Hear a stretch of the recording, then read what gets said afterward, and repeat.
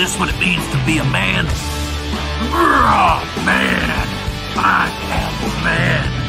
I am man! Is this being a man? Let's face it, it's time to man up. And that's for everybody listening. Let me tell you what I mean by man up. I mean, it's one part of a bigger word. Human. Human. It's time to act like human beings. It's time to rock it. It's time to do what you're supposed to do. Quit making excuses.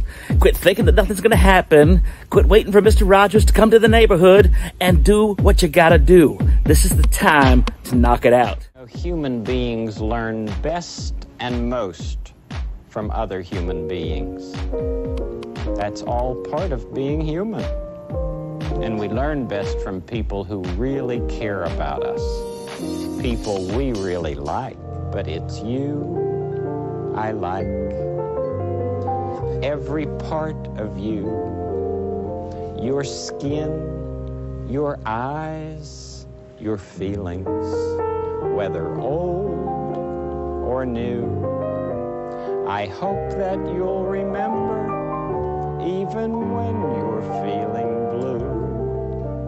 that it's you I like, it's you yourself, it's you,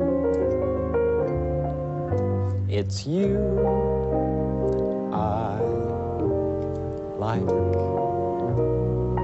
And that's true. And you'll find that the people who love you best are the ones you learn the most from.